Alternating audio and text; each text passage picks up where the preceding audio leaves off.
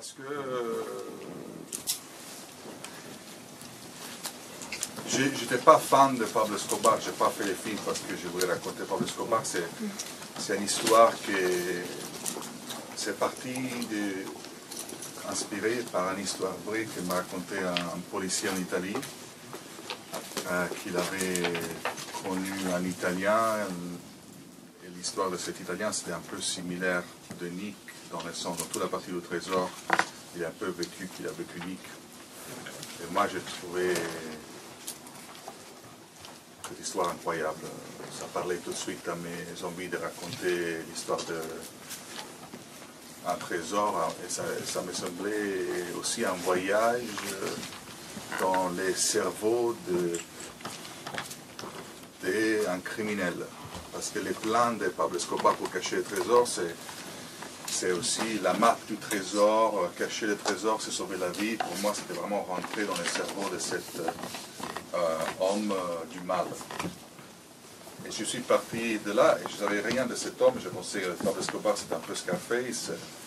Et plus j'ai commencé à lire et étudier les personnages, j'ai trouvé une psychologie criminelle fascinante d'un point de vue et j'ai construit ces films euh, sur une histoire, euh, sur quelqu'un qui est en face à cette euh, mal disproportionné. Et, c'est son voyage, sa descente à l'enfer, petit à petit. C'est un film qui ça parlait aussi à mes... Moi j'adore j'adore la tragédie grecque. Les personnages de Pablo, ça me faisait penser à un semi-dieu, euh, la mythologie grecque toujours, mais euh, j'adore l'opéra italien, Verdi, Puccini. Il y avait des dimensions, cette, dimension aussi pour moi, ça, ça m'intéressait. Ah. Moi, moi j'ai fait un film qui ça m'a passionné euh, pour des raisons de cinéphile.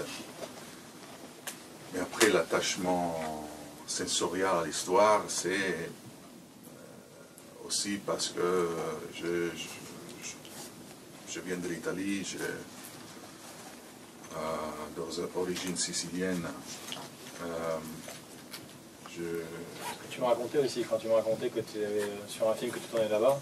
oui, oui, mais je suis encore copain, je suis encore copain avec les gens avec qui Voilà, je mais, je ne euh, vais pas sans rentrer dans le détail. Non, moi, la- c'est.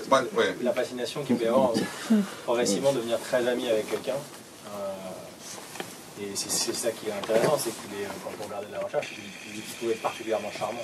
Euh, donc la- il y a quelque chose d'intéressant à explorer, euh, le côté, Janus, mais le côté positif d'un de, de- de monstre.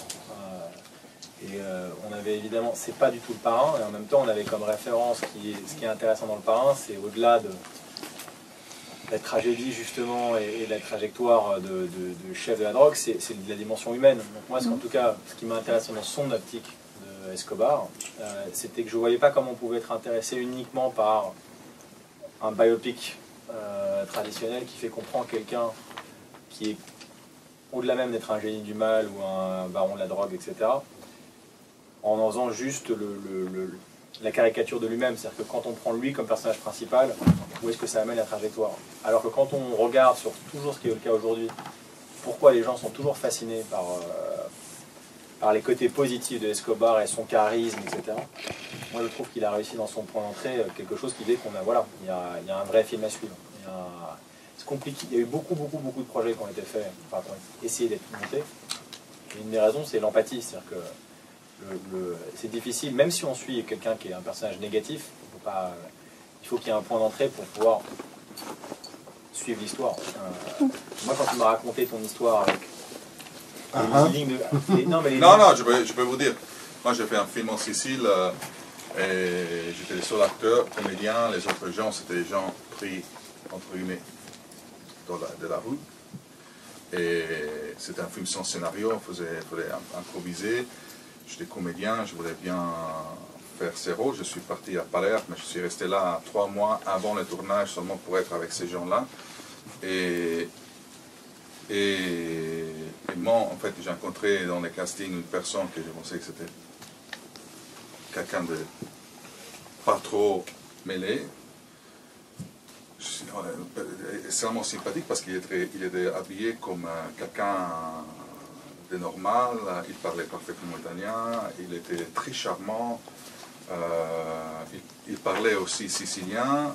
Euh, et je suis avec mon prof de dialecte sicilien, je suis devenu, devenu copain jusqu'au moment que je découvrais qu'il était vraiment. Quand je découvrais qu'il était vraiment, je me suis trouvé face à un conflit moral. Et dans les conflits moraux, c'est qu'est-ce que je voulais raconter de À quel moment il faut se s'échapper À quel moment il faut partir? Euh, parce que arriver, c'est parce que parfois tu penses que si tu fais pas certaines choses, même si tu es copain avec quelqu'un ou tu es proche avec quelqu'un, tu n'es pas compromis. C'est pas vrai. Moi, moi c'est cette expérience personnelle que je voulais aussi mettre dans le film. Moi, je voulais, quand la tragédie grecque, ils ont les chorus. Et les chorus, ils, introduisent et rendent la tragédie pour euh, préparer les spectateurs à ce quoi, de quoi on parle. Vous allez écouter cette histoire que, en fait, la première, l'introduction du film, dans les prologues, il y a un homme qui donne un autre homme un pistolet et dit Tu vas tuer. Et après, je coupe là. Je fais un saut en arrière et je présente l'histoire. Moi, je, c'est vraiment ça. C'est un film sur ça. Les biens contre le mal, qui va gagner Va tuer ou va pas tuer. Et, j'avais trouvé intéressant cette. Euh, cette euh, c'est un peu. Euh, Paolo, Sorrentino, un jour on parlait, il me disait que les, premières trois minutes du film, tu peux mettre qu'est-ce que tu veux, parce que, parce que les, gens sont, ils te suivent. Alors je voulais, je voulais faire un, début un peu euh, théâtral, euh, euh, opératique, dans le sens de mettre dans une situation le spectateur de se dire on parle du destin. En, fait, qu'est-ce qui, qui, se passe au début? Il y a une prière, et on voit presque les résultats de la prière, comme ceux de la prière de Pablo Escobar, il y a un résultat positif. Parce qu'après, à la fin du, la fin du film, on découvre en fait qu'il prie, sa prière à Dieu, il le supplie de, que son, son plan euh, est, être protégé par Dieu. En fait, à la fin, on voit qu'il y a une solution, que c'est presque positif. Et, j'aimerais bien euh, fermer un peu la, la boucle comme un cercle. Moi, je suis né à Rome avec euh, mon père sicilien, ma mère irlandaise, très catholique. J'étais toujours fasciné dans mon quartier de Rome, que tu voyais à droite, à gauche, tu avais, avais, les malins du quartier, qui c'était quand les méchants, qui étaient comme ça, ils priaient à Dieu, comme c'était. Après, il y avait les, très bons du quartier qui faisaient la même chose le dimanche matin. Et dès que j'étais très petit, j'ai toujours euh, fasciné par le fait que c'était vraiment la, démocratie. Tout le monde était en contact direct avec Dieu. Et j'ai trouvé ça fascinant.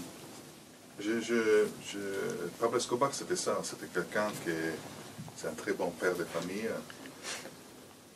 Euh, dans tous les livres que j'ai lus de sa sœur, euh, les documentaires c'est son fils, oh, ces hommes, euh, euh, ces tueurs qui ont écrit des livres, euh, ça sortait toujours ce côté de cet homme extrêmement généreux avec ses proches, un très bon père de famille. Il faisait beaucoup de charité, il a construit des quartiers entiers à, Medellín. Barrio Medellín aujourd'hui, c'était toutes des maisons données par Escobar.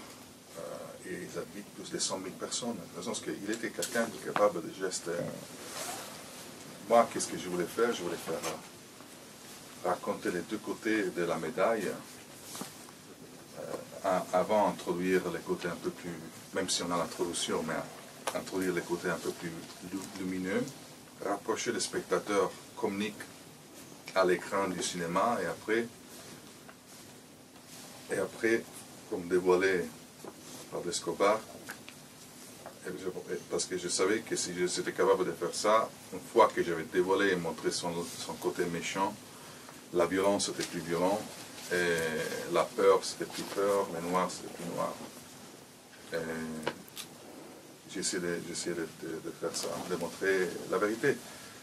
Toutes les choses qu'il y a dans les films, surtout la piscine, euh, ou lui qui chante, sont des choses que j'ai lues sous ses livres et j'ai regardé dans des cassettes. Euh, il, aimait, en fait, dans les films, j'ai vu ça, il aimait beaucoup amener des équipes de Miami pour filmer tout ce qu'il faisait dans la famille les week-ends. Alors il y a beaucoup de, cassettes, des images vidéo que, que j'ai étudiées pour euh, raconter cette période-là. Euh, non, l'écrivant du scénario, c'est bizarrement, j'avais vraiment la tête de Pablo parce que j'avais vraiment vu des vidéos, des photos et surtout j'ai essayé de regarder son regard, j'ai regardé beaucoup de vidéos et de regarder son regard parce que je voyais quelque chose dedans. Euh, c'est comme un abysse. Parfois, il y avait des vidéos, il y a, il y a trois secondes dans un documentaire, j'avais trouvé toujours fascinant de qui s'appelle Les deux Escobar, on voit Pablo Escobar le stade, et que son équipe de foot euh, s'est fait voler un match par un arbitre corrompu. Et on voit les moments qu'il décide de, faire tuer l'arbitre. Il y a un moment de crise, parce qu'il avait cette crise de, paranoïa. J'avais trouvé ça fascinant. Je me concentrais beaucoup sur son visage et j'ai écrit le scénario avec son visage dans la tête. Et après, une fois que c'était fini, on a commencé à penser les castings. Il n'y avait pas trop de. Quand tu réfléchissais, quand tu écrivais, je me parlais du profil psychologique que le FBI avait fait sur lui en disant qu'il n'avait pas mis dans la catégorie euh, dealer de drogue, il avait mis dans la catégorie serial killer. Euh, après, on avait une idée, on devait être juste, c'est-à-dire qu'on ne peut pas faire ce film sans. Donc on est très très vite arrivé à Benicio, en se disant que le, voilà, le seul choix de charisme, euh, d'envergure du rôle, était d'avoir un, acteur de cette envergure-là. Donc il y avait euh, dans le monde, il y a Benicio del Toro et Javier Bardem aujourd'hui qui pouvaient être qui pouvaient être Escobar. parce qu'il y a une dimension au-delà même de ce qui était dans le rôle, il y a une dimension fantasme, d'aura euh, autour du personnage, qui fait que d'ailleurs il, qu'il, fallait qu'il ait du charme. Euh, c'est intéressant ce que vous disiez avant ça. Je sais pas si vous avez remarqué, il n'y a pas de drogue dans le film. Euh, c'était le, quels étaient les points d'entrée pour qu'un personnage du point de vue Nick puisse tomber, non pas amoureux, mais sous, la séduction et le charme et, voilà, de, quelqu'un comme Escobar. Donc la, la le choix, il était dans le duo, il allait au-delà même de juste euh, Pablo, c'est-à-dire quel était le bon duo qui faisait que cette histoire fonctionnait. Euh, donc là, quand est-ce qu'on a Benicio? On a rencontré il y a quoi Trois ans? Euh, Oui. on l'a attendu un an. Quand on s'est vu ensemble, André, il a déjà travaillé tout seul pendant un an et demi. donc c'est prêt. Je sais pas, au bout de deux semaines, on s'est dit, il nous faut lui, mais on a pris un an pour l'avoir c'est fou parce qu'on en parlait avant tous les trois, euh, avant de venir vous voir. Euh, et, c'est vrai que Benicio, il a cette, folie dans le regard, comme tu disais, comme il a chez Escobar, où euh, Benicio del Toro, en fait, il n'a pas besoin d'être menaçant pour être inquiétant. Il a, la folie dans les yeux qui fait qu'en une réplique, moi, il me, glace. Oui, mais il n'y arrive pas à ça. il y a beaucoup de qui, qui font énormément de travail avant d'arriver sur un plateau, on l'a fait ensemble aussi. Et après, au moment qu'il commence à tourner, il jette tout et il, est habité, il est complètement habité, c'est ça la chose fascinante. Parfois, je le regarde derrière les combos qu'il joue et c'est, c'est un spectacle. il, y a il crée un vertigo parce que sur les scénarios, c'est bidimensionnel, sur les photos, c'est bidimensionnel. On voit des vidéos, mais ce sont des choses volées. Tout d'un coup, il y a de la logique, il y a quelqu'un qui respire vraiment le personnage. Il y a très très peu d'acteurs qui peuvent faire un personnage aussi controversé et les rendre euh, amables, les rendre euh, euh, qui fait peur, inquiétant. je trouve que sa performance c'est vraiment, vraiment, vraiment une expérience. toute seule, toute seule ça, ça, ça, pourrait toute seule justifier aller au cinéma pour regarder quelque chose qu'aujourd'hui, pour des raisons de, de, il n'y a pas beaucoup d'acteurs qui sont plus capables de faire des, performances comme ça. Josh, je l'ai rencontré la première fois qu'il était en train de tourner Hunger Games à Atlanta. Je suis allé à Atlanta rencontrer. Dès que je l'ai rencontré, j'ai tout de suite pensé qu'il était parfait pour Nick parce qu'il avait 17 ans, mais il était déjà un jeune homme euh, avec un regard euh, très. Il y avait une pureté, une pure joie de vivre. Et, aussi, il avait commencé à travailler à 9 ans dans le cinéma avec beaucoup d'initiatives. Il a appelé toute seule un agent à 9 ans pour disant je vais faire l'acteur. Et malgré tout ça, malgré il était connu, mais il n'était pas connu pour Hunger Games, il était connu pour autre chose. Il avait fait Bridget à il avait fait Voyage au centre de la Terre et tout ça. Il était d'une simplicité, une générosité que je trouvais parfaite pour le rôle de Nick. Euh, Max Richter, j'avais vu un film qui s'appelle Balz avec Bachir. Et j'avais trouvé la musique très belle. Et, oui, je, voulais, je voulais un peu m'éloigner du côté pop, que c'était facile, logique presque d'utiliser dans un film comme ça. je voulais plus faire une musique euh, classique. En fait, on a, on a c'est tout composé. Euh, toute la musique orchestrale, c'est fait par Max Richter.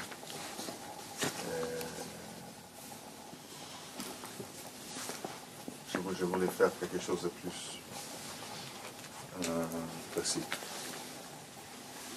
Moi, je n'étais pas intéressé. Je n'étais pas intéressé à faire un biopic sur Pablo Escobar. Euh, je voulais, par contre, pas être pas faire son biopic, mais je vais être très fidèle sur sa folie. Je vais être très spécifique sur, sur quel c'était son modus operandi. Le modus operandi de Pablo Escobar, c'était toujours de,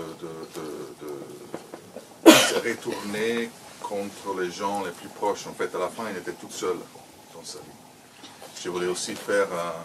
moi, j'avais toujours cette image, j'ai commencé à, étudier les maîtresses Pablo Escobar, j'avais toujours cette image de cette énorme vague parce que quand Pablo Escobar est tué, c'est pour ça que l'FBI l'a mis dans les serial killers pas dans les, têtes des organisations criminelles. Parce que quand il tuait Pablo Escobar, il tuait 25 personnes en 4 heures avec 50 tueurs qu'il envoyait dans toute la Colombie, ou dans tout le Nord d'Amérique. C'était quelque chose que quand tu tombé dessous, c'était impossible de s'échapper.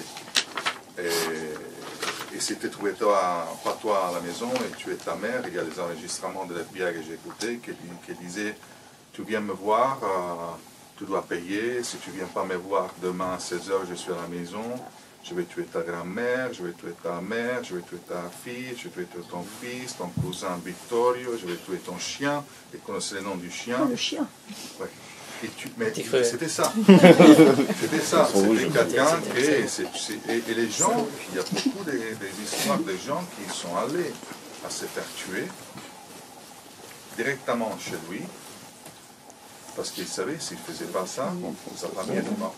Pour revenir sur la question de c'est qu'il y, a une logique à ça. C'est pas toujours du point de vue de mais toujours du point de vue d'un personnage. Escobar est déjà installé. Escobar est déjà, il, il a il y a plein de documentaires vachement bien, en l'occurrence, sur, euh, qu'on a tous regardé, euh, sur le, trafic en général. Et je sais pas si vous avez vu Cock and Cowboys, le 1 et le 2, euh, qui sont très très bien faits. Sur la dimension, mais c'est, des documentaires, justement. Il y a une question de, un moment donné de qu'est-ce qu'on veut traiter.